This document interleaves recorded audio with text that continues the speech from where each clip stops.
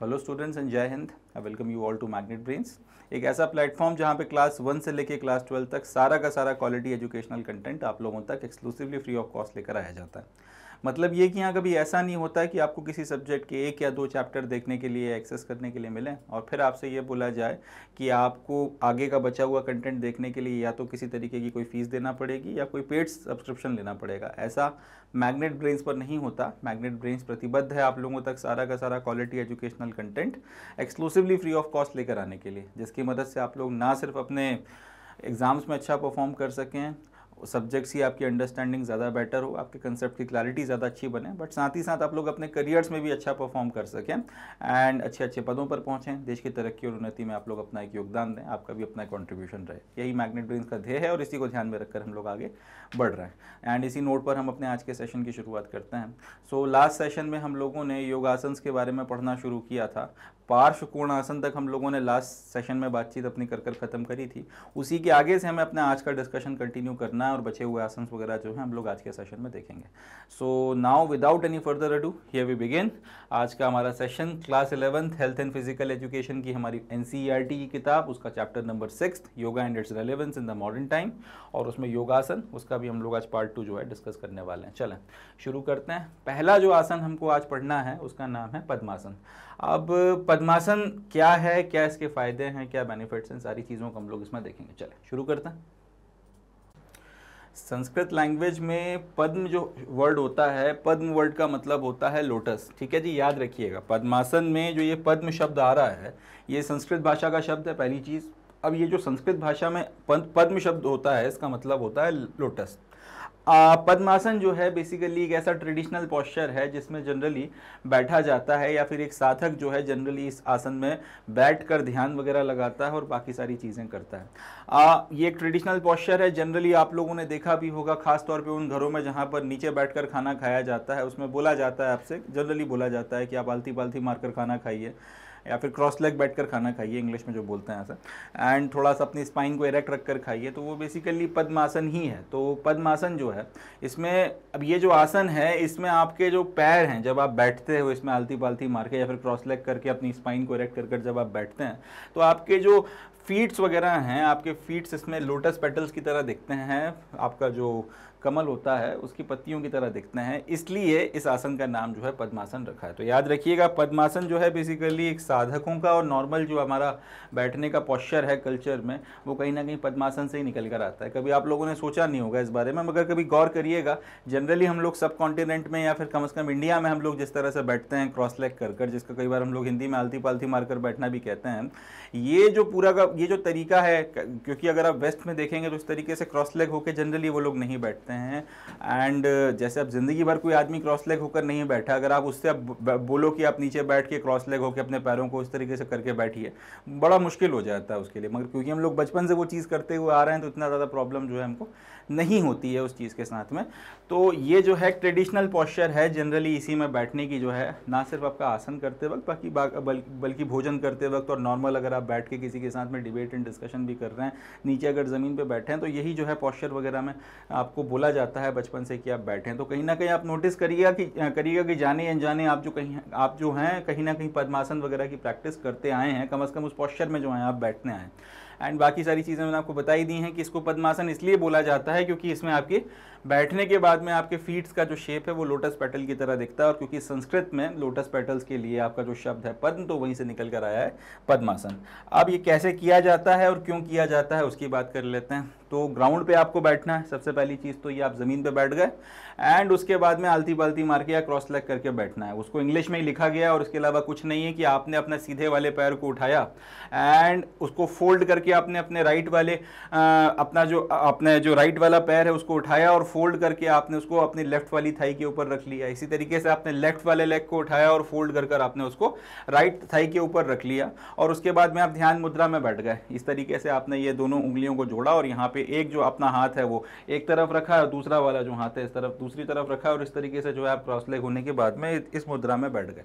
अब ये जो चीज़ है, ये कहलाती है पद्मासन, ठीक है? एकदम रिलैक्स आप बैठे हुए हो। आप एक मिनट के लिए बोलोगे कि ये कैसा आसन है? तो ज़िंदगी भर से ऐसे ही बैठते आ रहे हैं हम लोग तो। मगर पॉइंट ये है कि वो बचपन से हमारे कल्चर में डाला गया है। इनग्रेंड है ऋषि मुनियों ने पूरा का पूरा प्रोसेस चालू किया था। कि भाई आप लोगों को बैठते हुए इस इस तरह से बैठना है तो वो ट्रेडिशन बाय ट्रेडिशन आता जा रहा है, आता जा रहा है, और जाने अनजाने कहीं ना कहीं एक आसन की जो है हम लोग बचपन से खासतौर पर वो लोग जो नीचे बैठ के खाना खाते हैं प्रैक्टिस कर रहे हैं कम अज़ कम इंडिया में तो इसकी अच्छी खासी प्रैक्टिस होती है। बाहर शायद, क्योंकि अब इतना नीचे बैठने का इतना चलन नहीं है, इतनी प्रैक्टिस नहीं है तो वो लोग शायद इस तरह से ना बैठते हों। बट इंडिया में इस तरह से बैठने की एक प्रक्रिया है प्रैक्टिस है पूरी। तो इसके चलते जाने अनजाने हम लोग ये मुद्रा या फिर ये आसन वगैरह जो है लगाते रहते हैं। तो इस तरह से आप ध्यान मुद्रा में बैठ गए। अब यहाँ पर आपको करना यह है कि अपनी स्पाइन को, अपनी रीढ़ की हड्डी को एकदम जो है स्ट्रेट रखना है और नॉर्मली ब्रीथ करना है। पद्मासन, ध्यान लगाने के लिए भी जो है एक बहुत आपका आइडियल आसन है। अगर आप इस तरीके से बैठ कर आँखें बंद कर कर अपनी सांसों पर फोकस करें तो इससे ध्यान वगैरह लगाने की प्रोसेस वगैरह भी जो है चालू की जा सकती है। आप मेडिटेशन के मोड में भी जो है इस आसन में बैठ कर जा सकते हैं। तो इस तरीके से जो है पद्मासन लगाया जाता है। बहुत सिंपल है, बहुत ईजी है और हम लोग जाने अनजाने कॉन्शियसली सबकॉन्शियसली बचपन से ही करते आ ही रहे हैं तो उसमें ज़्यादा कुछ समझाने के लिए है नहीं। ग्राउंड पर बैठिए आलती पालती मारकर क्रॉस लेग होकर और फैंसी तरीके से बोलना है तो इसको ऐसे बोल सकते हैं। उल्टा वाला पैर फोल्ड कर कर सीधे वाले की थाई पे रख लीजिए, सीधा वाला पैर फोल्ड कर कर उल्टे वाले की थाई पे रख लीजिए, इस तरीके का पॉस्चर बनेगा। उसके बाद में ध्यान मुद्रा लगाइए इस तरीके से, और एक दोनों हाथों की जो ध्यान मुद्रा है, यहाँ पे इस तरीके से आप अपने घुटनों पर रख सकते हैं, और उसके बाद में अपनी स्पाइन को स्ट्रेट रख कर नॉर्मली आपने ब्रीथिंग करनी है नॉर्मली अपने साँसें लेनी है, और उसके बाद में आ, और ये जो है अब आपका पद्मासन हो जाएगा। अब यहाँ पर भी कुछ डूज एंड डोंट्स हैं इसका ध्यान रखना है। सबसे पहली चीज़ तो ये कि आपका जो फुट है उसको हमेशा अपोजिट थाई पर ही रखना है। ऐसा नहीं है कि आप अपने फुट वगैरह को अपोजिट थाई पर ना रखें उसका थोड़ा आगे निकाल दें या थोड़ा घुटने के आसपास लेकर जाएँ नहीं। आपको अपने फुट को अपोजिट थाई पर ही रखना है इस बात का ध्यान रखिएगा। Both the knees should ideally touch the touch the ground in the final pose finally जब आप अल्टीमेटली बैठ जाएँ तो उसके बाद में आपकी जो दोनों के दोनों नीज़ हैं, दोनों के दोनों जो घुटने हैं, उनको ग्राउंड को टच करना चाहिए। तीसरा, आपको आगे की तरफ़ जो है इसमें लीन करने से बचना है। अगर आप पद्मासन में बैठे हुए हैं तो जहाँ तक हो सके स्पाइन को इस तरह से इरेक्ट रख कर बैठिए और आगे की तरफ़ जो है, झुके ना, पीछे की तरफ़ ना जाएँ, इधर ना जाएँ, उधर ना जाएँ, इस तरह से जो है आगे पीछे ना हो। आप सिर्फ़ एकदम स्ट्रेट जो है, एक क्वेश्चन में बैठे।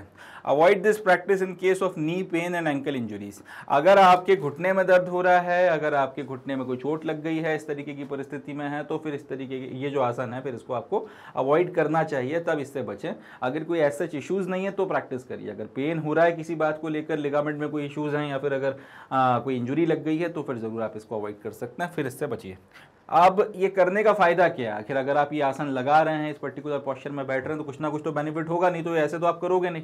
तो इसका जो एडवांटेज है इसका जो बेनिफिट है वो ये है कि पद्मासन में बैठकर जब आप, आप आपका अगर आप स्ट्रेट आपका जो रीढ़ की हड्डी उसको स्ट्रेट इरेक्ट रखकर अगर आप साँसें लेते हैं अगर आप डीपली ब्रेथ वगैरह करते हैं इन सब चीज़ों के चलते होता क्या है कि आपका मन शांत होता है और ट्रैंक्विलिटी वगैरह आपको अटेन होती है आप एकदम पीसफुल स्टेट ऑफ़ माइंड में पहुँच जाते हैं मेडिटेटिव होने लगते हैं। It tones up the nerves of of uh, it tones uh, up the nerves of uh, of coccyx uh, coccyx and sacral more blood. ये जो पूरा का पूरा आपका पोर्शन होता है पेट में जो नीचे की तरफ़ में आपका इलाका है यहाँ पर जो हड्डियाँ होती हैं उसे कॉसिक्स रीजन बोला जाता है और इसी के नीचे की तरफ़ में आपका जो नीचे की हड्डियाँ वगैरह वो सारा होता है पीछे के पोर्शन में वो कहलाता है आपका सैक्रल रीजन यहाँ पर अगर आप इस आसन में बैठने की आदत लगा लेते हैं इसके अगर आप आदि हो जाते हैं तो आपका कॉसिक्स के जो नर्व्स होते हैं वो ज़्यादा टोन डाउन होते हैं। और सैक्रल रीजन जो है, वहाँ वो उसका जो आपका नर्वस सिस्टम वगैरह, वो या फिर उसकी जो नर्व्स वगैरह हैं, वो ज़्यादा बेटर तरीके से काम करती हैं, क्योंकि यहाँ पर ब्लड वगैरह ज़्यादा मात्रा में सप्लाई होता है। इसके अलावा आपकी डाइजेस्टिव प्रोसेस वगैरह है, वो इंप्रूव होती है, और कॉन्स्टिपेशन का अगर इशू आ रहा है तो वो कॉन्स्टिपेशन वगैरह से आप रिलीव होते हैं कॉन्स्टिपेशन वगैरह की समस्या खत्म होती है। इसके अलावा अगर इस पर्टिकुलर पॉस्चर में बैठेंगे तो उससे कंसंट्रेशन और मेमोरी वगैरह जो है ठीक होती है। आपने नोटिस भी किया होगा, कम अज कम पुराने टाइम पीरियड में भी जो था एक दो पीढ़ियाँ पहले तक, आपकी एक चकौटी जैसी होती थी बैठने के लिए, एक छोटा सा जो है टेबल बनाया जाता था, और उसी पर जो है बैठकर जो भी आपका काम वगैरह किया जाता था, अगर आप खासतौर पर मुंशियों के पास में और स्टूडेंट्स के पास में इस तरीके की चकौटियाँ हुआ करती थी। आप ग्राउंड पर बैठते थे एंड उस पर बैठ फिर जो है अपना अपना लिखा पढ़ी का काम आप करते थे। अब ये जो आपका इस, ये जो चकौटियाँ होती थी, इनका फ़ायदा ये होता था इस पर बैठने के लिए, या फिर इन पर काम करने, इन चकौटियों पर काम करने के लिए आपको आलती पालती मार के बैठना पड़ता था। या फिर यूँ बोलूँ कि पद्मा पद्मासन की मुद्रा में बैठना पड़ता था। तो कहीं ना कहीं इस पर्टिकुलर मुद्रा में बैठने का ये फ़ायदा भी होता है कि आपका कंसंट्रेशन और आपकी मेमोरी वगैरह जो है बढ़िया बनी रहती है। तो इस पॉस्चर में बैठकर अगर आप पढ़ाई करेंगे तो उससे आपकी एकाग्रता ज़्यादा बेटर रहेगी, आपकी मेमोरी जो है ज़्यादा लंबे वक्त तक चीज़ों को अपना याद रख पाएगी। इसके बाद आता है कि it is helpful for people suffering from shortness shortness of breath अब कई लोग हैं जिनको सांस नहीं आती, एकदम से जो है सांस अटक जाती है। इस तरीके की जो प्रॉब्लम्स वगैरह होती हैं, जिनको ब्रेथ की शॉर्टनेस वगैरह हो रही है, उनके लिए भी जो है ये आसन काफ़ी ज़्यादा हेल्पफुल है उनके लिए भी काफ़ी ज़्यादा बेनिफिशियल है। तो आ, तो ये जो है आपका पद्मासन हम लोगों ने देखकर ख़त्म किया। अगला आसन बहुत इंपॉर्टेंट है और बहुत काम का है इसका नाम है वज्रासन। अब इसके बारे में हम लोग बातचीत करेंगे। वज्र का मतलब होता है एडमेंटाइन यानी कि जो एकदम अड़ गया जो एकदम मजबूती के साथ में जो है खड़ा हुआ है जो एकदम आपका पत्थर की तरह जो है वज्र की तरह जो है मज़बूत है।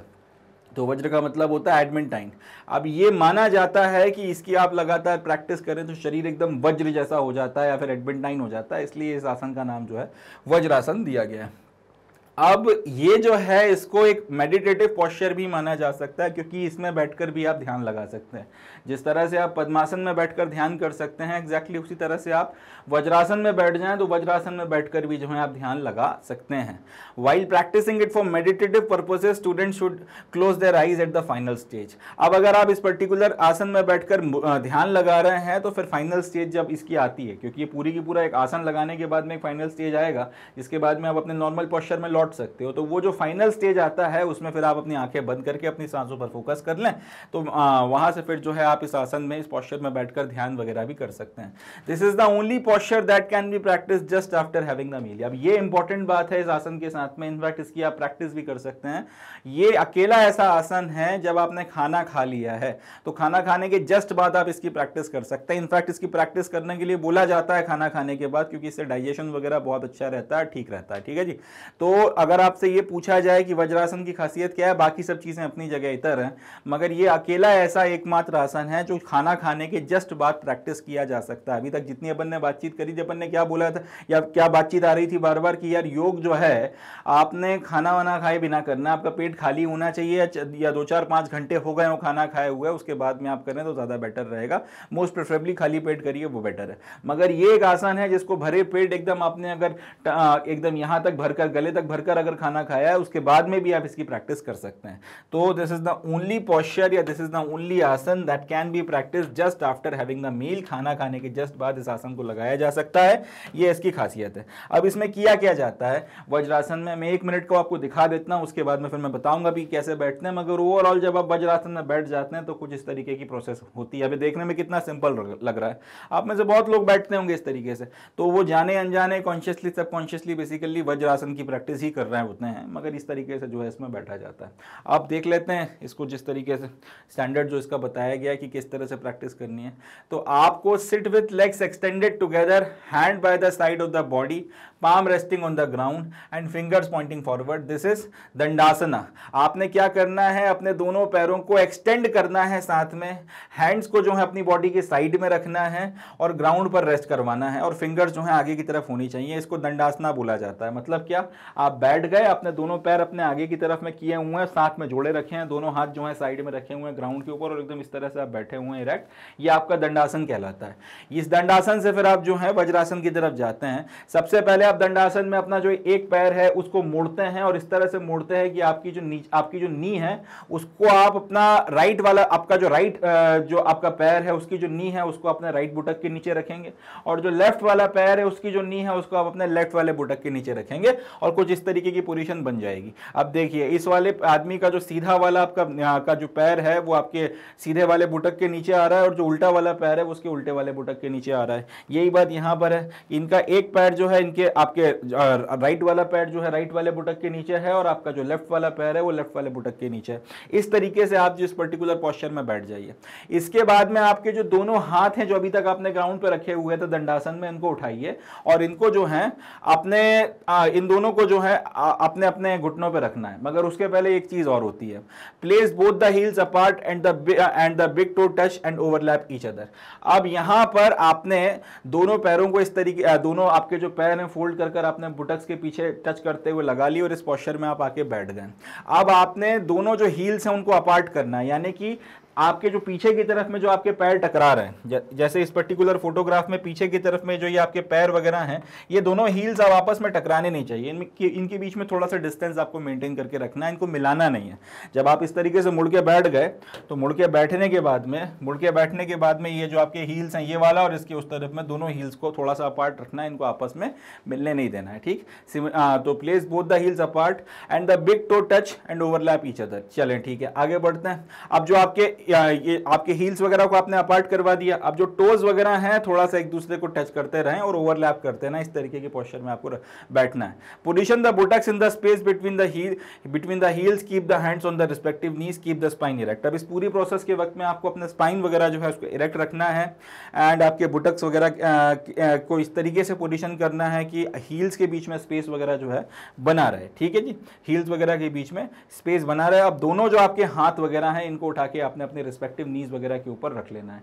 इस तरीके से आप इस पर्टिकुलर पॉस्चर में, इस तरीके से आप इस पर्टिकुलर आसन में आ सकते हैं। While returning to the original position bend a little forward right side take your left leg and extend it similarly extend your right and return to the original posture अब ये जो आपका, आपने ये आसन लगा लिया है, वज्रासन, अब इस पर्टिकुलर आसन से आप जब ओरिजिनल अपने लौटना चाहते हैं, इस पर्टिकुलर आसन से अपनी नॉर्मल रेस्ट की स्टेट में लौटना चाहते हैं तो सीधा सबसे पहले आपने क्या करना है? सबसे पहले आपने थोड़ा सा अपने राइट साइड को बेंड कर जाना है और सबसे पहले अपना लेफ़्ट लेग जो है उसको रिलीज़ कर कर एक्सटेंड करना है आगे की तरफ़ में। इसी तरीके से फिर आपका लेफ़्ट हैंड साइड आपका थोड़ा सा झुक जाना है और राइट वाला आपका जो पैर है उसको निकाल कर आगे की तरफ़ में एक्सटेंड करना है।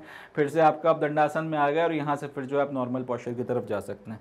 तो इस तरीके से जो है ये पूरा का पूरा आसन लगाया जाता है। क्या क्या किया जा रहा है? सबसे पहले दोनों पैरों को आप एक्सटेंड कर कर आगे की तरफ़ और दोनों हाथों को ग्राउंड पर रख कर बैठ गए। उसके बाद में आपने अपने पैरों को फोल्ड करके अपने बुडक्स के पीछे जो है फीट्स को लगाया एंड इनके बीच में थोड़ा डिस्टेंस क्रिएट किया, अपनी स्पाइन को इरेक्ट रखा, दोनों हाथों को अपने घुटनों के ऊपर रखा, इन दोनों को जो है मिलने दिया।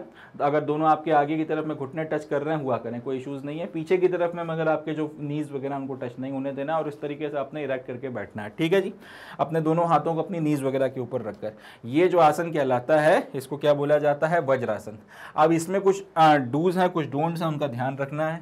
ये इस तरीके से आप एक पर्टिकुलर पॉस्चर में बैठिए, वज्रासन कहलाता है। और जब इससे आपको नॉर्मल पोजीशन में आना हो तो सीधे हाथ की तरफ़ थोड़ा झुकें, आपका एक पैर निकाल लें आगे की तरफ़ में, उसके, आपका जो उल्टा वाला पैर है, वो आगे की तरफ़ में निकाल लें। फिर आप लेफ़्ट की तरफ़ में झुकें, आपका जो सीधा वाला पैर है, उसे निकालें एकदम स्ट्रेट कर लें, और उसके बाद में फिर आप अपने नॉर्मल आप पहले फिर से दंडासन में आ गए, और यहाँ से फिर आप अपने नॉर्मल पॉस्चर में लौट सकते हैं। तो ये जो है, इस तरीके से अगर आप वज्रासन वगैरह जो है इसकी प्रैक्टिस कर सकते हैं। अब जस्ट अगर खाना खाया हो, उसके बाद में प्रेफरेबली बोला जाता है कि वज्रासन में बैठना चाहिए। इसके बहुत फ़ायदे होते हैं, बहुत ज़्यादा एडवांटेजियस है। क्या क्या फ़ायदे होते हैं वो भी हम लोग देखेंगे, मगर इस तरीके से आप वज्रासन में बैठ सकते हैं। अब डूज एंड डोंट्स क्या क्या हैं इसके? सबसे पहले keep the knees and thighs together while sitting in Vajrasana. आपने अपने घुटने और थाइज जो है उनको मिलाकर जोड़ के रखना है जब आप वज्रासन में बैठे हुए हैं।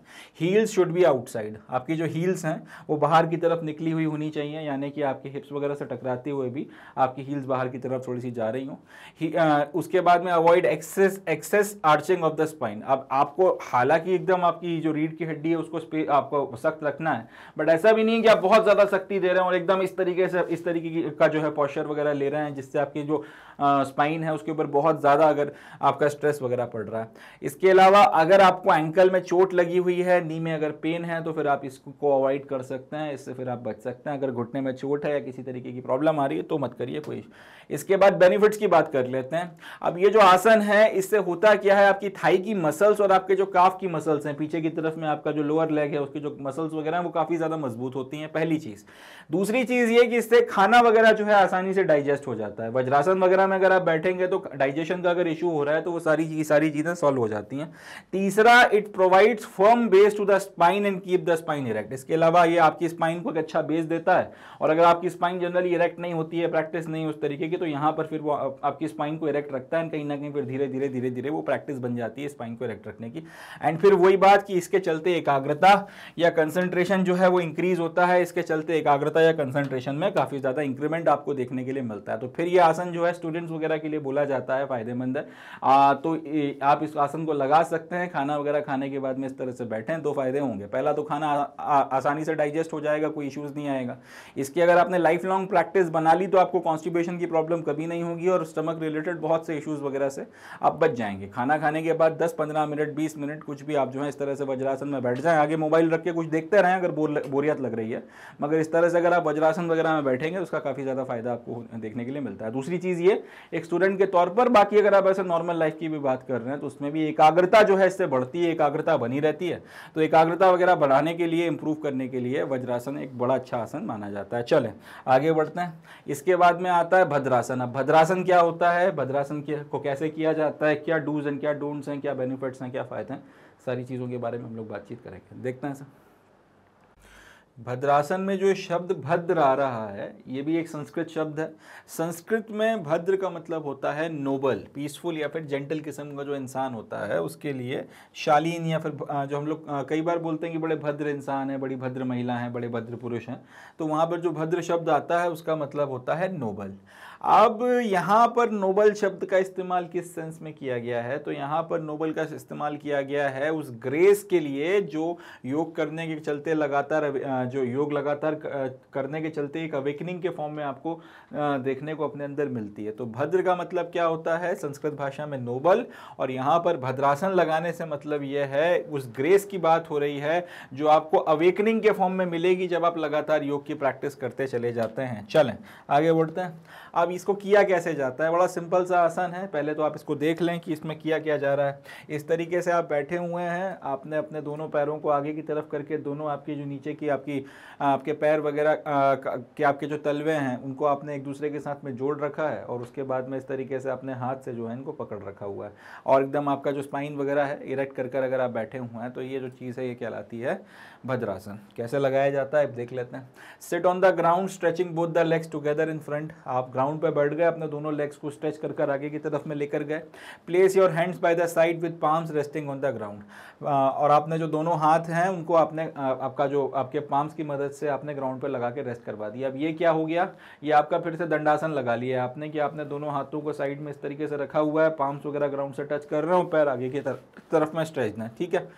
Finger should remain together pointing forward this is Dandasana और आपके जो हाथ हैं ये दोनों आगे, इसकी जो फिंगर्स हैं, दोनों आगे की तरफ़ में जो है, आपका पॉइंट होनी चाहिए। ये आपका दंडासन आपने लगा लिया। उसके बाद में वहाँ से fold the legs slowly at the knees and joint both the soles with each other अब आपने आपकी जो नीज है, उसके नीचे का जो पैर है, यानी कि आपके घुटने के नीचे का जो पैर वगैरह है, उसको आपका दंडासन से मोड़ना शुरू करना है और मोड़ते मोड़ते दोनों को इस पॉस्चर में लाना है कि दोनों के आपके जो तलवे हैं या फिर दोनों की जो आपकी हील्स वगैरह हैं, वो एक दूसरे के साथ में जुड़ जाएँ। ठीक है जी?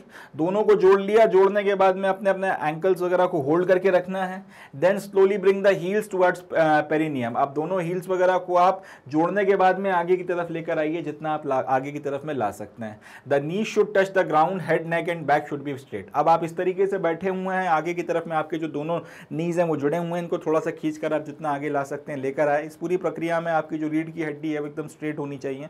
आपका आपका सर, आपकी नेक आपका बैक सब कुछ जो एकदम स्ट्रेट होना चाहिए। अब इस पोस्चर में या फिर इस पोजिशन में लगभग बीस से तीस सेकंड तक आपने लगातार बैठना है 20-30 सेकंड तक लगातार इस पोस्चर में बैठने के बाद में फिर से जो है आप दंडासन में आ जाइए और दंडासन के में रिलैक्स कर सकते हैं या फिर आप नॉर्मल उसके बाद अपना जो भी रिलैक्सेशन पोस्चर चाहें उसमें आ सकते हैं। इस तरीके से जो है इस आसन की आप लगातार प्रैक्टिस कर सकते हैं।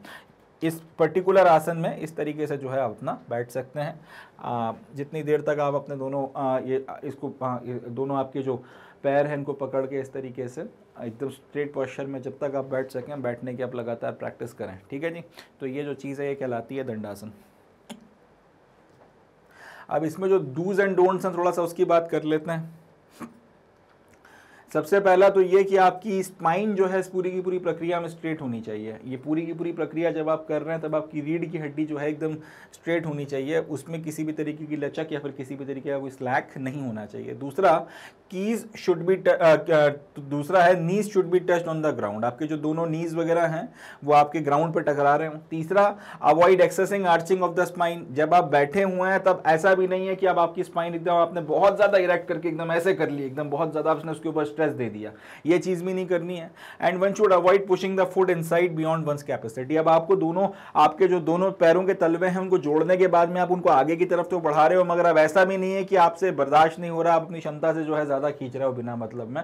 जोश या मोटिवेशन में आके या भाग मिलकर भाग के गाने सुनते हुए अगर आप योग कर रहे हो, पता चला कि बहुत ज़्यादा मोटिवेट होगा और बिना मतलब आप अपनी कैपेसिटी से आगे खींच रहे हो तो फिर उस चक्कर में इंजरी होने का खतरा बढ़ जाता है। तो जितनी आपकी कैपेसिटी है, आपको सिर्फ़ वहीं तक जो है इसको खींचना है, उससे ज़्यादा अपनी अपनी कैपेसिटी के बियॉन्ड पुश नहीं करना है। बाकी ये ज़रूर है कि प्रैक्टिस करते करते लगातार इसकी कैपेसिटी वगैरह बनती चली जाती है। अब इसके बेनिफिट्स वगैरह ये हैं कि आपका जो लंबर रीजन होता है, यानी कि पीछे की तरफ़ का जो आपका रीढ़ की हड्डी का लोअर पोर्शन वगैरह और आपका जो हिप्स वगैरह के ऊपर का इलाका होता है, ये जो सारा का सारा आपका लंबर रीजन वगैरह है, ये काफ़ी ज़्यादा अच्छा होता है, इसके ये काफ़ी ज़्यादा हेल्दी रहता है इस पर्टिकुलर आसन से और इस पर्टिकुलर आपका भद्रासन वगैरह आप लगाते हैं और ये काफ़ी हेल्दी पॉस्चर वगैरह जो है यहाँ पर आप मेंटेन करके रख सकते हैं।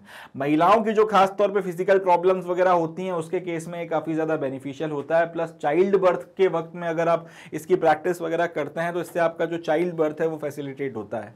इसके भी आपका कंसेंट्रेशन या एकाग्रता बढ़ती है, इससे भी एकाग्रता या कंसेंट्रेशन बढ़ाने में मदद मिलती है तो स्टूडेंट्स भी इसको लगा सकते हैं। लास्टली ये आपके मन को शांत करता है। जो आपके एकदम से मन में अंडरस्टैंड बहुत से विचार आते हैं, एकदम मन जो है, एकदम आपका पचास तरीके की बातें सोचता है, परेशान कर देता है सारी चीज़ें, उससे आपको मुक्ति मिलती है, आपका दिमाग जो है बहुत ज़्यादा काम डाउन हो जाता है, बहुत ज़्यादा कूल हो जाता है और शांति से जो है आप फिर फोकस कर पाते हैं। चलें, अगला आता है उस्त्रासना उस्त्रासना क्या होता है, उसके बारे में बात करते हैं। देखिए उस्त्रासन में उष्ट्र उष्ट्र शब्द जो आ रहा है, इसका मतलब होता है कैमल। उष्ट्र शब्द जो है, ये संस्कृत में कैमल के लिए या ऊट के लिए इस्तेमाल होता है। अब ये जो पॉस्चर बनकर तैयार होता है उष्ट्रासन में, ये बेसिकली कैमल के जैसा दिखता है, इसलिए इसका नाम जो है उष्ट्रासन पड़ गया अब इसको कैसे किया जाता है, उसके बारे में बात कर लेते हैं, फिर इसके डूज एंड डोंट्स एंड फिर बेनिफिट्स वगैरह की बात कर लेंगे।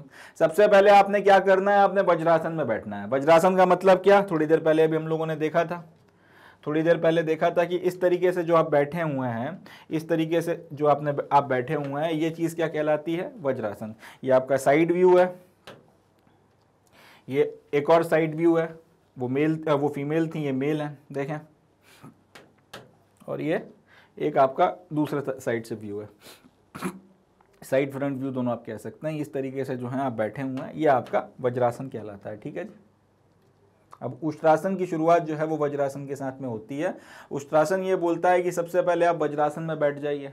एक बार जब वज्रासन में बैठ गए kneel down on the floor उसकी, वज्रासन में बैठने के बाद में आप नील जैसे नील डाउन की पोजिशन होती है, घुटनों के बल जो है, आप ज़मीन पर खड़े हो जाइए। पहले आप वज्रासन में बैठ गए, वज्रासन के बाद में आप अपनी बॉडी को थोड़ा सा ऊपर उठाएँ और घुटनों के बल जैसे आप ज़मीन पर बैठे हुए हैं, कई बार पनिशमेंट पनिशमेंट भी मिला मिला होगा नील डाउन करिए, घुटनों के बल जो है, बैठ जाइए। इस तरह जिससे कि घुटनों पर काफ़ी स्ट्रेस पड़ता है। उस तरीके से जो है आप अपना फ्लोर पे नील डाउन हो जाइए। अब इस पर्टिकुलर परिस्थिति में आपकी जो थाइज और आपकी फीट्स वगैरह है, उनको दो से तीन इंच तक आपको डिस्टेंस पे रखना है। टोज वगैरह जो है, वो पीछे की तरफ़ में पॉइंट करना चाहिए और आपके फ्लोर वगैरह के ऊपर रेस्ट कर रहे हो। यानी कि आप नील डाउन करके जो है, बैठे हुए हैं, आपका नील डाउन करके जो है, आप पोजिशन में है, आपकी थाइज और फीट्स वगैरह के बीच में दो तीन इंच का फ़र्क चल रहा है। टोज वगैरह जो है वो पीछे की तरफ़ में, यानी कि आपका पैर जो है एकदम पीछे की तरफ़ में पॉइंट आउट कर रहा है और फ्लोर के ऊपर रेस्ट कर रहा है। इसके आगे वाइल इनहेलिटिंग बैंड बैकवर्ड अब इस पर्टिकुलर पोजीशन में, अब नील डाउन की पोजीशन में वज्रासन से आ गए हैं, अब साँसें लेते हुए जो है आपको पीछे की तरफ़ में बेंड करना है। जैसे इसमें आपको ये बंदा पॉस्चर दिखा रहा है, इस तरीके से साँसें लेते हुए आपको पीछे की तरफ़ में बेंड करना है। While exciting place the right palm on the right heel and the left palm on the left heel तो अब आप क्या किए हो? वज्रासन से आप उठे नील डाउन की पोजीशन में आए नील डाउन की पोजीशन के बाद में आप पीछे की तरफ़ में जो है मुड़े हैं, जितना जा सकते हैं, सांस लेते हुए और उसके बाद आपके जो ये हाथ के पाम्स हैं, इनको आपको अपनी हील्स पे रखना है। सीधे वाला हाथ जो है उसका पाम आप सीधे वाले की हील पे रखोगे, उल्टे वाले का हाथ जो है, आप पाम जो है वो आप उल्टे वाले की हील पे रखोगे और इस तरीके से जो है आप एक अच्छा पॉस्चर वगैरह जो है आपका बनाकर तैयार कर लेंगे, ठीक? ये अब जब आप इनहेल करते हुए पीछे की तरफ़ में बैंड किए थे, उसके बाद में साँसें छोड़ते हुए जो है आपको ये प्रक्रिया करनी है और अल्टीमेटली आप इस तरीके के आसन में जो है आ जाएँगे। इस पॉस्चर को फिर फिर जो है आपको पकड़ के रखना है, जितनी देर तक आप पकड़ के रख सकते हैं। देखिए, हाथ जो है वो एकदम आपकी फीट के ऊपर जाके रखा रहे हैं, ठीक है जी? देख लीजिए। तो ये जो है आपकी पूरी प्रक्रिया रहेगी। पहले वज्रासन में बैठ गए, वज्रासन से फिर आपने जो अपनी बॉडी को ऊपर की तरफ़ में उठाया नील डाउन की पोजिशन में आ गए, उसके बाद में साँसें लेते हुए पीछे की तरफ़ गए। उसके बाद में साँसें छोड़ते हुए जो है अपने अपने दोनों हाथों के जो आपके पाम्स हैं अपने पैरों की फीट के ऊपर उनको रख दिया है और ये पॉस्चर जो है आपने फिर पकड़ के बैठे हुए हैं। ये कैमल की तरह जो है रिजेंबल करता है, इसलिए इसका जो नाम है, वो उष्ट्रासन पड़ गया, क्योंकि उष्ट्र जो है, वो आपके ऊँट को बोला जाता है संस्कृत में। अब ये पॉस्चर जो है, आप पकड़ के रखें। फाइनल पोजिशन में thighs will be vertical to the floor and the head tilted backward तो अब ये उष्ट्रासन की जो फाइनल पोजिशन हमने पकड़ ली है, इसमें कुछ बातों का ध्यान रखना है। आपके जो थाइज वगैरह हैं, आपका जो ये इतना इतना पोर्शन है, वो बेसिकली 90 के एंगल पर है मोर और लेस 90 के एंगल पर है, या फिर आपकी फ्लोर के साथ में वर्टिकल है। ठीक है जी? एक चीज़। ये एक तो वर्टिकल है। दूसरा आपका जो आपका जो सर है वो पीछे की तरफ़ में टिल्ट कर रहा है। Weight of the body should be evenly supported by the arms and the legs अब आपका जो पूरा शरीर है, उसका जो वेट है वो आपके हाथों और आपके पैरों के ऊपर एकदम इवनली सपोर्टेड है। इस वक्त में अगर सपोर्टेड नहीं है तो वैसे भी बैलेंस नहीं बनेगा। तो वो इवनली सपोर्ट होगा, तभी जो है आप ढंग से जो है इस पर्टिकुलर पॉस्चर में आ पाएँगे। And inhale slowly come backward to the normal position and relax in Vajrasana अब इस पर्टिकुलर पोजिशन को आप 10 सेकंड पाँच सेकंड 15 सेकंड 20 सेकंड जितना पकड़ सकते हैं, पकड़ के रखें। उसके बाद में फिर से आप अपना साँसें जो है, लेते हुए आगे की तरफ़ में आए और बेंड डाउन नील डाउन से फिर से आप अपना वज्रासन की पोजिशन में जो है वापस आ जाएँ और रिलैक्स करें। इस तरीके से आप ये पर्टिकुलर उष्ट्रासन की प्रैक्टिस वगैरह कर सकते हैं। इसका बड़ा फ़ायदा और बड़ा बेनिफिट होता है। अब इसके डूज एंड डोंट्स पे बात कर लेते हैं। सबसे इंपॉर्टेंट चीज़ जो इसमें अपने को करनी है वो ये है कि आपको थाइज वगैरह को वर्टिकल रखना है। अगर आपकी थाइज आपने इसमें वर्टिकल नहीं रखी तो फिर एक तो आसन बनेगा ही नहीं। और बना तो फिर उतना बेनिफिशियल नहीं रहेगा बेनिफिशियल नहीं रहेगा, उतना आपको जो है फ़ायदा वगैरह इससे होता हुआ नहीं दिखेगा। दूसरा जब ये पूरी की पूरी आपकी बेंडिंग और आपका पीछे की तरफ़ में झुकना और सारी प्रोसेस चल रही है, आपने बहुत ध्यान रखना है कि भैया जर्क नहीं लगना चाहिए। Avoid jerking the body while bending backwards पीछे की तरफ़ मुड़ते वक्त में आपको जर्किंग से बचना है जर्क अवॉइड करना है। Avoid in case of hernia vertigo and frozen shoulder अगर आपके शोल्डर फ्रोजन है, एक चीज़ अगर आपको वर्टिगो की समस्या हो रही है, अगर आपको हार्निया है तो उस केस में फिर आपको इससे बचना है, आपको इसको अवॉइड करना है। And proceeding to the final stage of asana should be gradual और जो आपकी आखिरी स्टेज है, जिसमें आप अल्टीमेटली इस पॉस्चर में आओगे, धीरे धीरे धीरे धीरे धीरे धीरे आपको इसमें जाना है। अब हो सकता है अगर किसी इंसान का वज़न बहुत ज़्यादा है फिटनेस वगैरह बहुत खराब है तो ये पॉस्चर पूरा लगाते भी ना बने। तो जितना करते बन रहा आप उतना कर लीजिए, और उसके बाद में फिर अपनी नॉर्मल पोजिशन या वज्रासन में आ जाइए। फिर प्रैक्टिस करिए, होते होते होते होते, वक्त के साथ में वज्रासन लगने भी लगेगा। और ये आपका, ये वाला उष्ट्रासन लगने भी लगेगा, वज्रासन, और उसके बाद में उष्ट्रासन लगने भी लगेगा एंड कहीं ना कहीं इससे आपका बॉडी वगैरह में काफ़ी बेनिफिट भी होते हैं। वेट वगैरह जैसे जैसे आप कंट्रोल करते जाएँगे तो ज़्यादा बेटर तरीके से आप उसे करेंगे तो और ज़्यादा बेनिफिशियल जो है आपके लिए होता चला जाएगा। अब बेनिफिट्स क्या क्या है? This is useful in back pain and neck pain तो ये अगर आपको गर्दन में दर्द होता है, या फिर अगर आपको पीठ में दर्द होता है तो दोनों के लिए उष्ट्रासन जो है बहुत बढ़िया है। इससे आपकी गर्दन का भी दर्द जाता है, और आपके बैक का भी जो है दर्द वगैरह जाता है। इसके अलावा it reduces it help to reduce fat over the abdomen and hips hips के ऊपर और एबडोमेन के ऊपर जो आपका फैट वगैरह चढ़ गया है उसको रिड्यूस करने में काफ़ी ज़्यादा हेल्पफुल रहता है। इसके अलावा it help to strengthen the back muscle and leg muscles आपके पीछे की जो मसल्स वगैरह हैं बैक वगैरह की एक तो वो, और इसके अलावा आपके जो लेग्स की मसल्स उनको स्ट्रेंथन करने में हेल्पफुल होता है। और उसके अलावा अगर आपके रेस्पिरेटरी डिसऑर्डर्स हैं, सांस लेने में कोई समस्या वगैरह आ रही तो उसमें भी ये काफ़ी ज़्यादा हेल्पफुल साबित होता है। ये आसन अगर इस तरीके से आप इसको करते हैं। चलें, आगे बढ़ते हैं। अब अगला आता है शशांक आसन अब शशांक आसन क्या होता है, उसके बारे में हम लोग बातचीत करेंगे। देखते हैं इसके, इसको इसको कैसे लगाया जाता है, क्या इसके बेनिफिट्स हैं, क्या करना है, क्या नहीं करना है डूज एंड डोंट्स वगैरह वगैरह चले। शशांक जो शब्द है, इसका मतलब होता है रैबिट तो ये जो आसन हम लोग जब फाइनली लगाते हैं तो इसका जो फाइनल पॉस्चर बनकर तैयार होता है, वो फाइनल पॉस्चर जो है, उसमें आपकी बॉडी जो है रैबिट का एक शेप ले लेती है या फिर मोर और लेस रैबिट के शेप को रिजेंबल करती है। इसलिए इस पर्टिकुलर आसन का नाम जो है शशांक आसन पड़ा है या फिर शशांक आसना इसको बोलते हैं। वजह क्या है? रैबिट का शेप क्योंकि आपकी बॉडी ने ले लिया है रैबिट का शेप क्योंकि आपकी बॉडी ने एक्वायर कर लिया है। तो उसके बेसिस पर उसको शशांक आसन जो है नाम दे दिया गया है। और शशांक वर्ड का मतलब क्या है? रैबिट चले। अब इसकी प्रैक्टिस वगैरह कैसे की जाती है? इसमें कैसे आप बैठते हैं? तो उसके पहले फोटोग्राफ में आपको दिखा देता हूँ। मोरलेस ये जो है आपकी फाइनल पॉस्चर या फाइनल पोजीशन बनती है। इसको शशांक आसन बोला जाता है। कैसे करते हैं? ज़रा उसको देख लेते हैं। सबसे पहले तो आपको वज्रासन में बैठना है। जब एक बार आप वज्रासन में बैठ गए और वज्रासन में बैठकर आपने अपनी स्पाइन को जो है अच्छे से इरेक्ट रखा है, उसके बाद में spread both the knees wide apart with toes remaining together अब आपको यहाँ पर करना क्या है? आपकी जो दोनों नीज वगैरह हैं, उनको आपको जितना हो सके उतना ज़्यादा आपका उतना ज़्यादा आपको वाइड अपार्ट खोलना है और साथ में आपके टोज वगैरह जो है वो साथ में जुड़े रहने चाहिए। इंपॉर्टेंट बात है, इस पर ध्यान रखेंगे। सबसे पहले क्या करना है spread both the knees wide apart आपको अपनी दोनों नीज वगैरह को जितना हो सके उतना ज़्यादा खोलना है और टोज वगैरह जो है वो आपके साथ में जुड़े रहने चाहिए। आपके जो दोनों टोज वगैरह हैं वो साथ में आपके जुड़े रहने चाहिए। Place the palms between the knees अब आपके जो दोनों हाथ हैं, उनको आपको अपनी नीज के, आपके जो दोनों हाथ के पाम्स हैं, उनको आपकी नीज के बीच में रखना है। आगे exhaling exhaling bend forward from the waist with the arm straight एक बार जब आपने इतना कर लिया आपने टोस को टच करके अपनी नीज को जितना हो सकता था उतना ज़्यादा खोल लिया अपने दोनों हाथों को अपने दोनों पाम्स को उसके बीच में रखा उसके बाद में क्या किया आपने? उसके बाद में आप एक्सहेल करते हुए साँसें छोड़ते हुए आगे की तरफ़ में बेंड करे हैं वेस्ट से आपका जो कमर है उसके नीचे से वेस्ट आप करके आ, आ, आपका जो वेस्ट है फिर आपकी जो कमर है वहाँ से आप नीचे की तरफ़ में बेंड किए हैं और ये बेंड करते वक्त आपके जो दोनों हाथ हैं, दोनों आर्म्स वगैरह हैं, इनको स्ट्रेट आपको सामने की तरफ़ में जो है लेकर जाना है, ठीक है जी? दोनों पार्म्स आपके, दोनों नीज वगैरह के बीच में जो स्पेस वगैरह बना है, उसमें रखें और जैसे जैसे आप आगे की तरफ़ में बेंड करेंगे, सांस छोड़ते हुए आपको अपने हाथों को जो है आगे की तरफ़ में बढ़ाना है और कुछ इस तरीके का की पॉस्चर में जो है आपको आते चले जाना है। इसके बाद में chin and chest should be resting on the floor अब आपका जो ये चिन है और आपका जो चेस्ट वगैरह है, आपका फ्लोर पे रेस्ट करना चाहिए। एंड इस पर्टिकुलर पोजीशन को मेंटेन करने के लिए आप जितना हो सके उतना ज़्यादा आगे की तरफ़ जो है अपना नज़र वगैरह को बना के रख सकते हैं। इस पर्टिकुलर तरीके से आप इस पॉस्चर को मेंटेन रखेंगे। एंड उसके बाद में जितनी देर आप इसको पकड़ के रख सकते हैं, उतना देर इस आसन को पकड़ के रखें। दस, पंद्रह, बीस, पच्चीस, तीस सेकेंड तक उसके बाद में फिर साँसें लेते हुए फिर से अपनी नॉर्मल पॉस्चर में आए। अपने जो नीज वगैरह के बीच में डिस्टेंस बन गया था उसको कम करें और फिर से आप वज्रासन में आकर रिलैक्स कर सकते हैं। तो शशांक आसन लगाने के लिए क्या किया जा रहा है? सबसे पहले वज्रासन में बैठ गए। वज्रासन में आपकी स्पाइन इरेक्ट करके बैठ गए। उसके बाद में क्या क्या, टोस को टच में रखकर या टोस को कांटेक्ट में रखकर आपने अपनी नीज को जितना हो सके उतना अपार्ट किया, दोनों हाथों को उसके बीच में रखा, उसके बाद में एक्सहेल करते हुए आप आगे की तरफ़ में बेंड किए हैं और जितना आप बेंड करते चले गए अपने अपने हाथों को उतना ज़्यादा जो है आगे की तरफ़ में बढ़ाया है।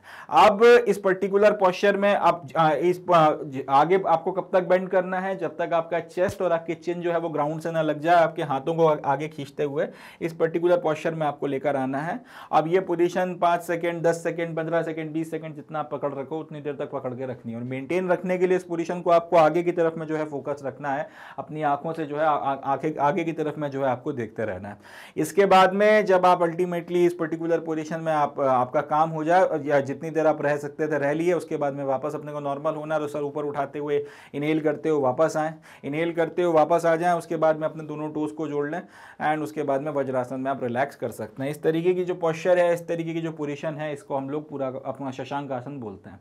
अब इसके डूज एंड डोंट्स में सबसे पहली चीज़ जो आती है वो ये है कि आपको पूरे पॉस्चर में खास तौर पे फाइनल स्टेज में आपका जो क्योंकि जब आप झुक रहे हैं उस वक्त में खास तौर पे आपका जो बैक है उसको एकदम स्ट्रेट रखना है। एंड इस पूरी की पूरी प्रोसेस वगैरह में आपके जो हिप्स वगैरह हैं यहाँ से उठने नहीं चाहिए। जैसे अब यहाँ पर आपके जो ये आपके फीट्स वगैरह हैं और उस, उसके साथ कॉन्टैक्ट में आपके हिप्स वगैरह हैं तो इस पूरी प्रोसेस में जब आप आगे पीछे हो रहे हैं आप जब मतलब अल्टीमेटली वज्रासन से फिर आगे की तरफ़ में जा रहे हैं और उसके बाद वापस आप जब ये आसन लगाकर वज्रासन में लौट रहे हैं, दोनों प्रोसेसेस में आपके जो ये आपके जो जो हिप्स वगैरह हैं वो ऊपर की तरफ़ में उठने नहीं चाहिए फीट्स वगैरह के साथ में कांटेक्ट में रहने चाहिए। इस आसन की प्रैक्टिस करते वक्त में आपको अपने हिप्स वगैरह को ऊपर की तरफ़ में नहीं उठाना है, ठीक है?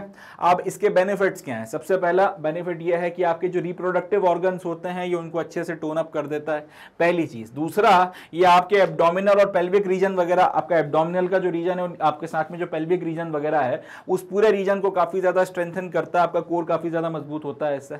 इसके बाद में आप, ये जो आसन वगैरह है साइटिका की नर्व वगैरह को काफ़ी हद तक रिलीव करता है, इसके चलते एक तो आपको साइटिका का पेन नहीं उठेगा कभी।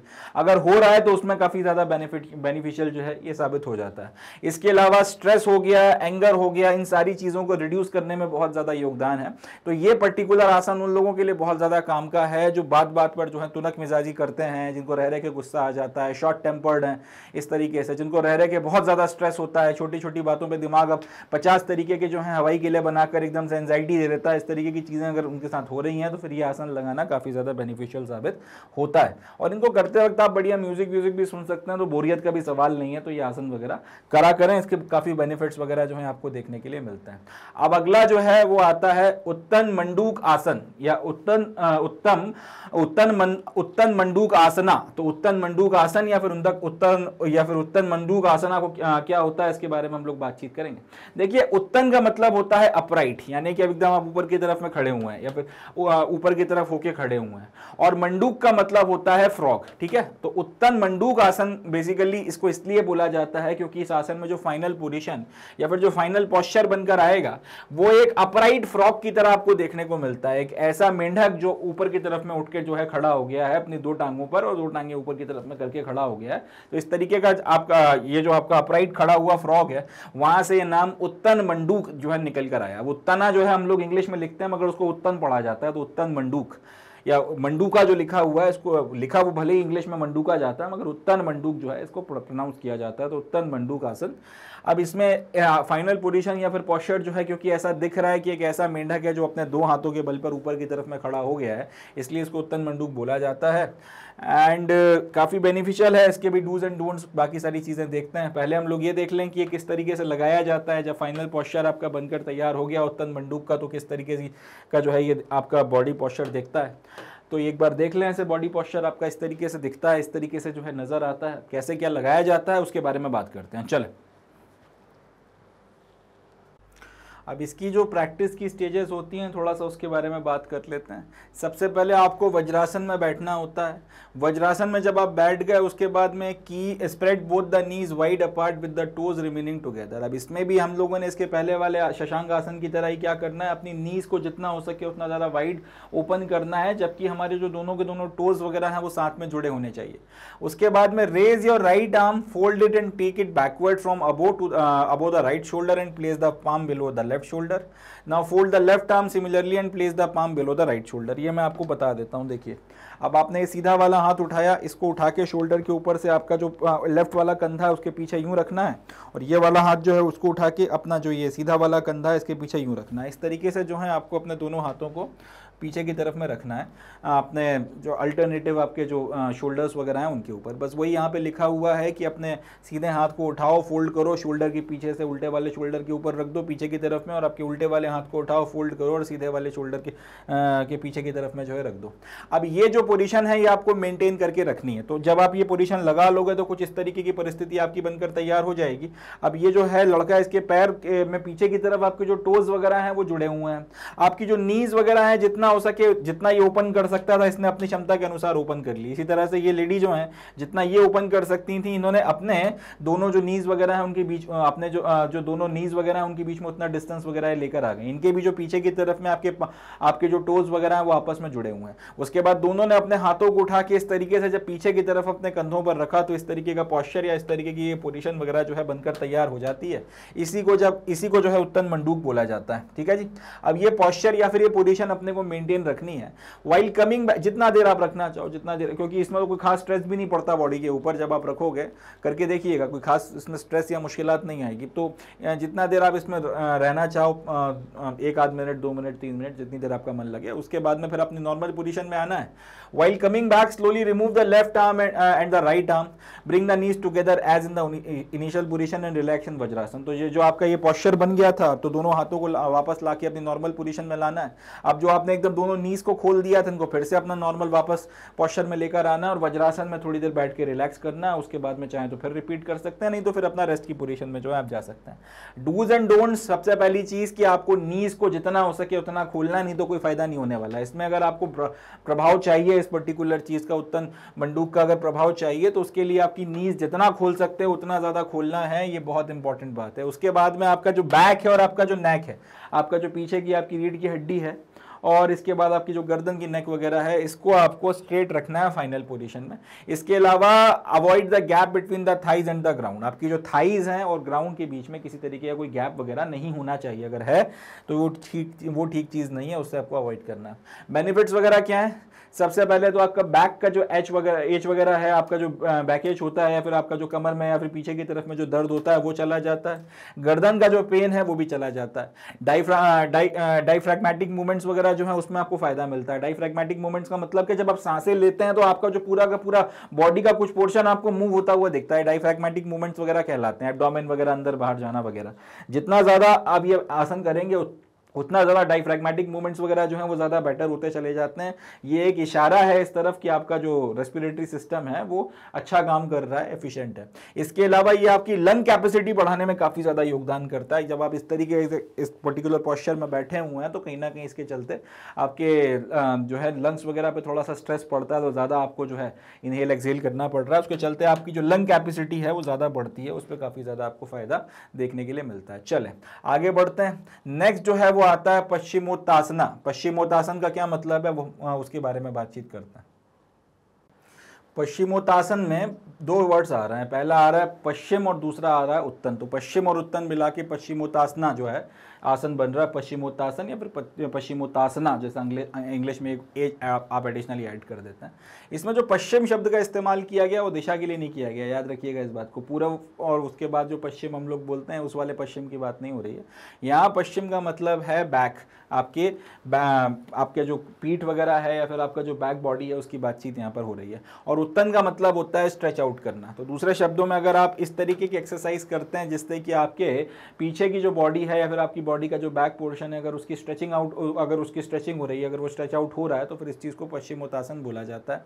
इस आसन में होता यह है कि जो आपकी बॉडी का बैक साइड है, खासतौर पर आपके स्पाइनल कॉलम्स वगैरह जो है, वो अच्छे से स्ट्रेच हो जाते हैं। ठीक है जी, और इसका काफ़ी ज़्यादा बेनिफिट या फ़ायदा आपको देखने के लिए मिलता है। देख लेते हैं।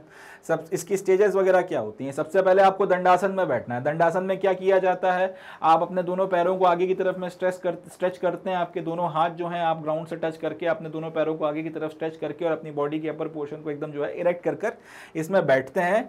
इनहेल करते हुए आप सांस वगैरह लेते हुए, सांस अपने, जितना हो सके आप उतनी ज़्यादा सांस लेते हैं और सांस लेते हुए आप अपने दोनों हाथों को जो है ऊपर की तरफ़ में उठाते हैं।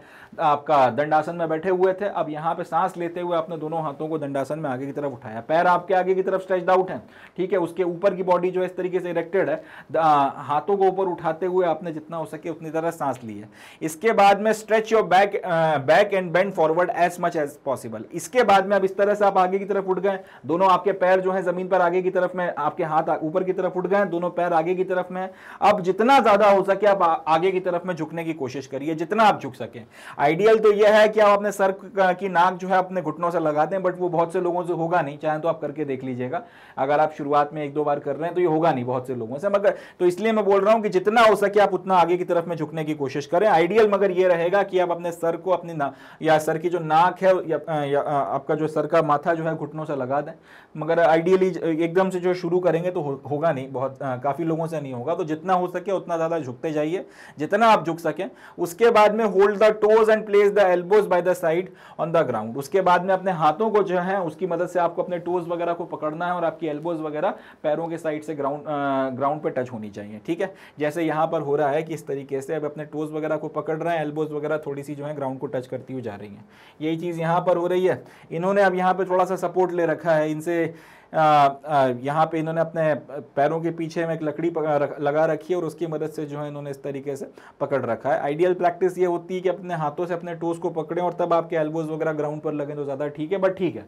अगर ऐसा नहीं भी कर पा रहे हैं, ऐसे आप एक सपोर्ट की मदद से भी करते हैं तो भी ठीक है।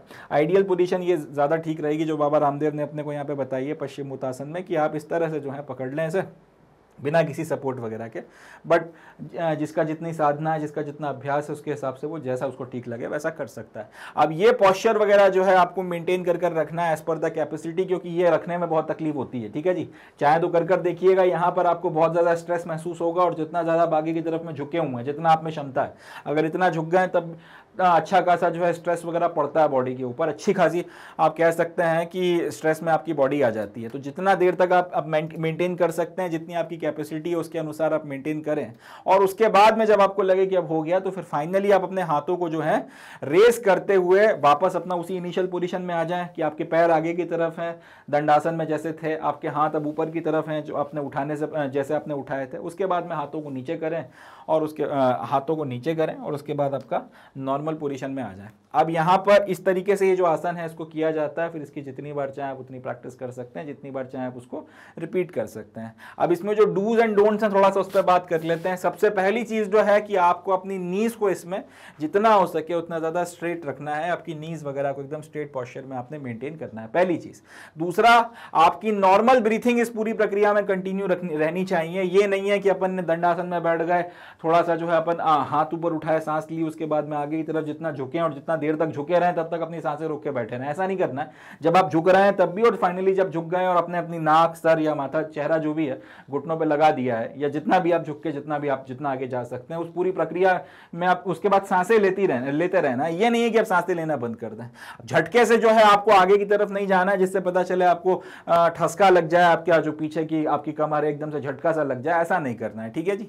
इसके बाद में अगर बहुत ज़्यादा तकलीफ़ है आपका पीठ वगैरह में अगर बैक पेन बहुत हो रहा है तो फिर अवॉइड करें, क्योंकि बैक पे बैक पेन बढ़ जाना है इससे। अगर बैक पेन नहीं है तो फिर आप इसको करें, क्योंकि क्योंकि बहुत ज़्यादा स्ट्रेस जो है आपकी पीठ वगैरह में, रीढ़ की हड्डी में पड़ेगा तो पहले से अगर बैक पेन है तो फिर और ज़्यादा बढ़ जाएगा। फ़ायदा करने की जगह नुकसान ज़्यादा कर जाएगा। तो अगर बैक पेन है तो ऐसी कंडीशन में इसको आपको अवॉइड कर अवॉइड करना है। अब बात कर लेते हैं बेनिफिट्स वगैरह की कि बेनिफिट्स क्या हैं। तो सबसे पहली चीज़ तो ये कि अब क्योंकि इतना आप आगे की तरफ़ में झुकेंगे एबडोमिन वगैरह पर काफ़ी स्ट्रेस पड़ता है तो ये आपके एबडोमिनल ऑर्गन्स वगैरह के फ़ंक्शंस को स्टिमुलेट कर देता है और इसके चलते आपका डाइजेशन वगैरह जो है ज़्यादा इंप्रूव होता है। दूसरा ये कि आपका कॉन्स्टिपेशन रिमूव करने में काफ़ी ज़्यादा योगदान करता है ओबेसिटी या मोटापा इससे नहीं होता डिस्प्रेप्सिया जो है वो आपको, उसकी समस्या नहीं होती और सेमिनल वीकनेसेस वगैरह जो है वो सब आपको महसूस नहीं होती है अंदर से जो आपको कमजोरियाँ लगती हैं वो सब महसूस होना बंद होती हैं। इसके अलावा ब्लड सर्कुलेशन वगैरह जो है, उसको बढ़ाने में मदद करता है ब्लड प्रेशर को रिड्यूस करता है और फैट्स वगैरह जो है, उसको आपका काटने में, उसको कम करने में मदद करता है। सबसे इंपॉर्टेंट बात कि आपकी स्पाइन की जो फ्लेक्सिबिलिटी वगैरह है, उसको बढ़ाता है, उसको ये काफ़ी हद तक जो है इन्हेंस करता है। चलें, आगे बढ़ते हैं। अब जो नेक्स्ट आसन है, वो है सुप्त वज्रासन। सुप्त वज्रासन जो है, ये बेसिकली वज्रासन का फर्दर डेवलपमेंट है। सुप्त वज्रासन में हम लोग करते ये हैं कि हम लोग लेटे लेटे जो है वज्रासन लगाने की कोशिश करते हैं, या फिर जब हम लोग लेटे हुए हैं, तब वज्रासन की पोजिशन वगैरह जो है, उसे एक्वायर करने की कोशिश करते हैं। एक तरीके से ऐसा लगता है जैसे आप सो रहे हैं, या फिर आप वज्रासन जो है, उसकी मुद्रा में आप नींद में वज्रासन की पोजिशन में आप जो है आप सो चुके हैं तो ये जो है, इसको, इसका नाम जो है, इसलिए इसके बेसिस पर सुप्त वज्रासन दिया गया है। जब सुप्त वज्रासन वज्रासन आप लगा चुके होते हैं उसका जो फाइनल पॉस्चर आता है उसकी जो फाइनल पोजीशन आती है कुछ इस तरीके की देखने को मिलती है। तो इस पर आप एक नज़र डालें ये आपका जो है सुप्त वज्रासन है ये आपकी फाइनल पॉस्चर या पोजिशनिंग है इसमें आप इस तरह से रहते हैं। ठीक है जी? तो वज, सुप्त वज्रासन का मतलब क्या?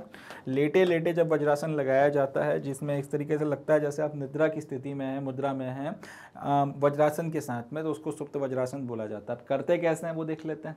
सबसे पहले तो आपको वज्रासन की पोजीशन में बैठना है वज्रासन की का जो आसन है उसमें बैठना है, उसके बाद में पीछे की तरफ़ में जो है आपको अपने आप को बेंड करना है। वज्रासन वज्रासन की मुद्रा में बैठ गए, पीछे की तरफ़ में जो है आपको बेंड करना है, ठीक है जी? And bend backwards taking the support of the hands अपने हाथों की मदद से सपोर्ट लेते हुए आपको बेंड करना है, आपकी एल्बोज वगैरह जो है आप ग्राउंड पर लगा के रखें। और पीछे की तरफ़ में आप जितना हो सके उतना ज़्यादा बेंड करें। Slowly straighten the hands and completely lie on the back with the shoulders resting on the ground अब धीरे धीरे अपने हाथों को स्ट्रेट कर लें और कंप्लीटली पीछे की तरफ़ में जो है इस तरीके से अपनी बैक के ऊपर ग्राउंड के ऊपर लाई करें। मगर ये जो पॉस्चर है आपका वज्रासन का, ये टूटना नहीं चाहिए। इसको एज इट इज़ आपने मेंटेन रखना है। बिगिनर्स में keep their hands on the respective thighs अब अगर आपको ज़्यादा प्रॉब्लम आ रही है शुरू शुरू में नहीं हो रहा है या तकलीफ़ हो रही है तो आप अपने हाथों को जो है थाइस वगैरह के ऊपर भी रख सकते हैं। मगर जब अल्टीमेटली आपका अभ्यास अच्छा हो जाएगा, तब अपने हाथों को जो है इस तरीके से आप अपना ग्राउंड वगैरह पे आपको लगा के रखना है, ठीक है जी? इसके बाद After practicing this position well, stretch the arms behind and uh, uh, hold the elbow arm with the hand of the another arms. अब अच्छे का अब अच्छे से आपने जब ये फाइनली पॉस्चर लगा लिया उसके बाद में पीछे की तरफ़ लेकर जाना है और जैसा इसके पहले वाले उसमें बताया था कि आपने एक आर्म की एल्बो को दूसरे आपके हाथ से जो है या दूसरे हाथ के पाम से पकड़ना है और इस आर्म का ये जो आपका आ, ये वाला हाथ है जिसका आपको पाम वगैरह दिख नहीं रहा है उससे दूसरे वाले की एल्बो वगैरह जो है उसको टच करना है इस पर्टिकुलर पोजिशन में जो है आपको रहना है एंड इसको जो है आप सुप्त वज्रासन बोलते हैं। ओरिजिनल पोजीशन में जब आप लौट कर आएँगे, तब आपको क्या करना है first take out your hand and place them by the sides of your body अब दोनों हाथों को जो है पीछे से आप हटा के अपना बॉडी के साइड में रख लीजिए या बिगिनर है तो थाइस के ऊपर रख लीजिए, उसके बाद में धीरे धीरे जो है उठना शुरू करिए और आपका एल्बोज की मदद से अपनी इनिशियल पोजिशन में वापस आ जाइए। तो आसान है, इसमें कोई खास दिक्कत नहीं है, मगर हाँ बस वो बॉडी की आपकी लचक या स्ट्रेचिंग के ऊपर है कि आप कितना झुक पाते हैं। प्रैक्टिस करते रहेंगे तो आसानी से हो जाएगा। क्या करना है? वज्रासन में बैठिए। वज्रासन में बैठ के धीरे धीरे धीरे धीरे धीरे पीछे की तरफ़ में बैठ करना शुरू करिए। अपने दोनों हाथों को जो है टिका के रखिए ग्राउंड पे एल्बोज वगैरह की मदद से। आपका जो एल्बोज है उनको ग्राउंड पे टिका कर रखिए और हैंड की सपोर्ट की मदद से पीछे की तरफ़ में झुकते चले जाइए। धीरे से अपने जब अल्टीमेटली आप झुक चुके हैं उसके बाद में अपने हाथों को स्ट्रेटन करिए completely on the back side with the shoulder resting on the ground and knees remaining together आपका ये नीचे का कुल मिला के सिंपल सी भाषा में बोला जाए ये पूरी चीज़ या फैंसी अंग्रेज़ी तो इतना है कि आपका ये जो आप, आपका वज्रासन का पॉस्चर है वो टूटना नहीं चाहिए जब आप अल्टीमेटली पीछे की तरफ़ में जाएँ। दोनों हाथों को आप ग्राउंड से टिका कर रख सकते हैं। अगर नहीं करते बन रहा बिगिनर है तो फिर अपने दोनों हाथों को थाई पर रख सकते हैं, ठीक है? क्योंकि इसमें स्ट्रेस आएगा अच्छा खासा स्ट्रेस जो है, पड़ता है। इसके बाद में अब ये जो पोजिशन वगैरह में आप अच्छे से आ गए हैं, इस पर, उसके बाद में अपने हाथों को मूड को अपने सर के पीछे की तरफ़ में लेकर जाइए और एक हाथ से, एक हाथ के पाम से दूसरे हाथ के एल्बो को जो है आपको टच करना है इस तरीके से। तो जैसा इस वाले में आपको जो है दिखाया गया ठीक?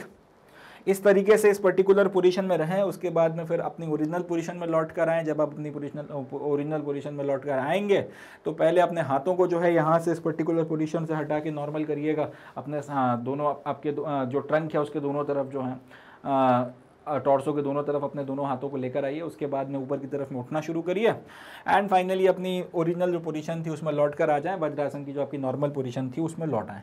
इस तरह से ये जो पूरी की पूरी पॉस्चर को आप लगा रहे हैं, इसको जो है आप सुप्त वज्रासन कहते हैं। ऐसे, या बाबा रामदेव का जो आपको पॉस्चर वगैरह दिख रहा है इस तरीके से जो है, ये सुप्त वज्रासन कहलाता है। डूज एंड डोंट्स वगैरह क्या है? थोड़ा सा वो देख लेते हैं। सबसे पहला with the support of hand come in supine position आपको ये जो सपाइन पोजिशन है, जो लेटे लेटे आपकी आपका जो लेटने वाली मुद्रा है, इसमें आना किस किस तरह से है? हाथों की मदद से। इसमें आपकी नीज वगैरह जो है फाइनली दोनों साथ में जुड़ी होनी चाहिए।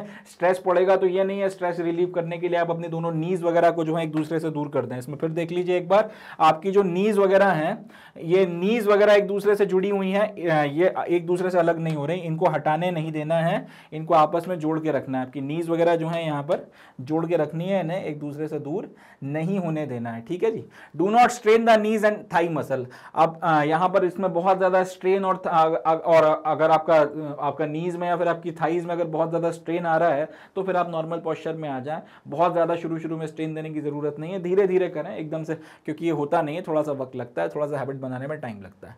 उसके बाद में नी पेन वगैरह हो रहा है तो ऑब्वियस बात है, फिर प्रैक्टिस ना करें तो ही ठीक रहेगा। नी पेन पहले ठीक हो जाने तो उसके बाद में इसकी प्रैक्टिस करें, ज़्यादा बेनिफिशियल रहेगा।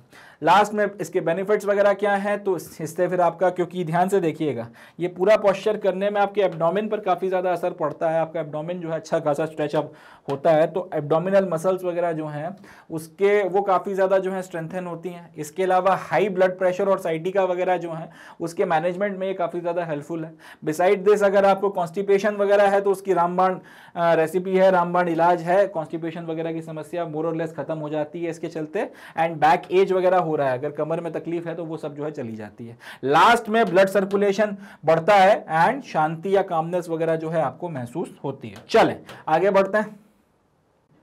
So with this we come to end of today's session आज का जो हमारा सेशन था, इसमें हम लोगों ने काफ़ी सारे आसन वगैरह जो हैं, उनके बारे में जाना है और जो आसन पढ़ने की हमने अपनी जो प्रीवियस लेक्चर में जो हमने आसन वगैरह पढ़ना शुरू किए थे, उसी प्रक्रिया को हमने आगे बढ़ाया नेक्स्ट सेशन में भी हम लोग इसी को आगे कंटिन्यू करेंगे और जो इसके बाद वेरियस आपके आसन्स वगैरह दिए हुए हैं एन क्लास इलेवंथ की अपनी किताब में, उनको हम लोग देखेंगे। मगर वो सारी की सारी बातचीत नेक्स्ट सेशन में, आज का जो सेशन है, इसको हम लोग यहीं पर समाप्त करते हैं। आपसे विदा लेने से पहले मैं आपको बताना चाहूँगा कि मैग्नेट ब्रेन्स का जितना भी कंटेंट वगैरह है, जिसके लिए आपको किसी तरीके की ना तो कोई फ़ीस देनी है, ना आपको कोई कूपन कोड लगा के फ़ीस कम करवानी है मगर आपको 101 परसेंट हंड्रेड परसेंट जो है आपको सब कुछ एक्सक्लूसिवली फ्री ऑफ़ कॉस्ट देखने के लिए मिलता है। ये सारा का सारा कंटेंट आप तीन मैथड्स या तीन मोड्स की मदद से जो है एक्सेस कर सकते हैं। या तो आप इसे हमारे यूट्यूब चैनल पर देख सकते हैं। या फिर आप इसको हमारी वेबसाइट पर देख सकते हैं, या फिर आप मैग्नेट ब्रेन्स का ऐप डाउनलोड कर कर वहाँ से भी जो है इसके कंटेंट वगैरह को कंज्यूम कर सकते हैं। ये फ़ोन पे भी आपको एक्सेसिबल है, ये टैबलेट्स पे भी चल जाएगा, ये लैपटॉप पे भी चल जाएगा, इसके अलावा दूसरे भी आपको जो डिजिटल मीडियम्स हैं, इन पर ये चल जाएगा। तो यहाँ पर जब आप आते हैं, आपको यहाँ पर सारा का सारा quality educational content exclusively free of cost provide कराया जाता है। स्कूल एजुकेशन में C B S E English to English and Hindi medium class one से लेकर क्लास ट्वेल्व तक सारा का सारा कंटेंट अवेलेबल है। इसके बाद में आपका यूपी बोर्ड, बिहार बोर्ड और जो दूसरे आपके बोर्ड्स वगैरह होते हैं, उसका कंटेंट भी आपके पास में अवेलेबल है। इसके अलावा एन हो गया ओलंपियाड हो गया सी हो गया ए हो गया नीट हो गया कॉम्पिटेटिव एग्जामिनेशन हो गए, इन सब का भी कंटेंट वगैरह आपको यहाँ पर एक्सेस करने के लिए मिलता है। तो जितना हो सके इस कंटेंट का फ़ायदा उठाएँ, दूसरों को भी इसके बारे में बताएँ, इस बेनिफिट लें एग्जामिनेशन की प्रिपरेशन अच्छे से करें अच्छा स्कोर करें एंड सबसे बड़ी बात है कि जुड़े रहें मैग्नेट ब्रेन्स के साथ। और मैग्नेट ब्रेन से जुड़ने के लिए क्वेश्चंस के लिए क्यूरीज के लिए फीडबैक्स के लिए आप हमें हमारे सोशल नेटवर्क्स पर फॉलो के, के हमारे हैंडल्स पे फॉलो कर सकते हैं। हम ट्विटर पर अवेलेबल हैं हम फेसबुक पर अवेलेबल हैं हम इंस्टाग्राम पर अवेलेबल हैं। तो जहाँ पर भी चाहें आप feel free to message any of your queries any of your worries any of your comments और फीडबैक्स सो so, इसी नोट पे calling it the day and concluding the session अपना बहुत ध्यान रखें खुश रहें पॉजिटिव रहें हँसते मुस्कुराते रहें मोस्ट इंपॉर्टेंटली जुड़े रहें मैग्नेट ब्रेन्स के साथ. थैंक यू जय हिंद. मिलते हैं नेक्स्ट सेशन में.